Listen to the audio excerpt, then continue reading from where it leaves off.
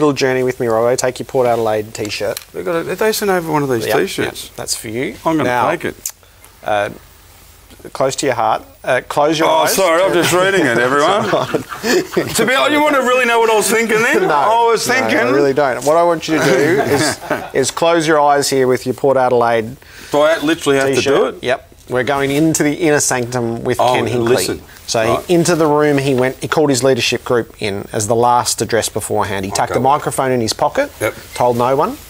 Recorded it. Do you really? Went to the leadership group today and asked them if they were be Ken. comfortable with this being aired publicly. They've agreed. So this is it. This is the rev up, Robbo, before the leadership group goes out for the first showdown at the Adelaide Oval. Sean, can you just round up the um, the leaders in here with me? Yeah. Now I don't want to I don't want to and mess this up for today, but um, I think it's important that we understand in this room that we really do have um, responsibility of what happens today.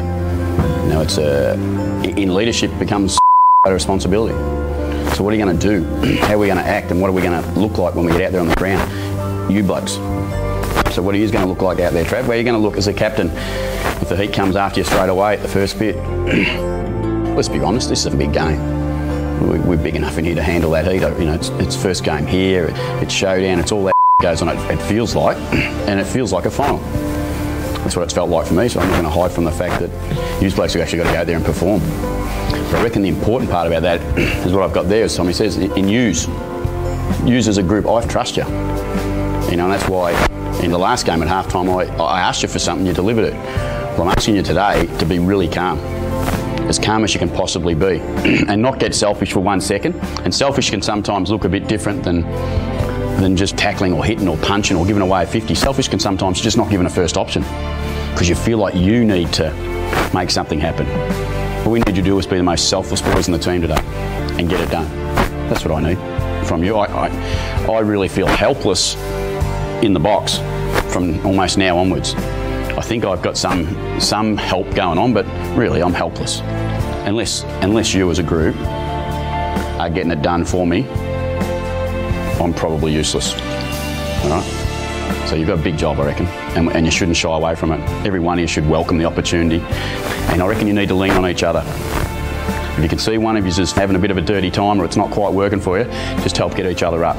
Talk to each other a little bit different to the group. You are here to help and support each other because you have a responsibility to 14 other blokes. And when you go out there, you have a responsibility to probably 55,000 people, which is a big bit of pressure to carry. But I'm sure you can do it, all right? So again, Tommy, in yous I do trust. And I'm sure you'll come in tonight with what you deserve, all right? Go get them. Oh, you would go and get them too, wouldn't you? You know what that tells me? That tells me that every single person who's played AFL, uh, played football, not AFL, football, you've heard similar speeches, similar words. Can I just talk about responsibility? You know, this is a big game, heat, showdown, final, trust, deliver. Don't be selfish. Take the responsibility. It's a big job. Lean on each other.